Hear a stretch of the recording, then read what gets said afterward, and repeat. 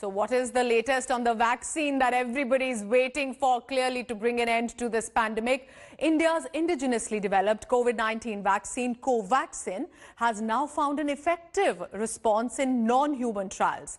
Bharat Biotech's COVID vaccine candidate successfully has conducted animal trials.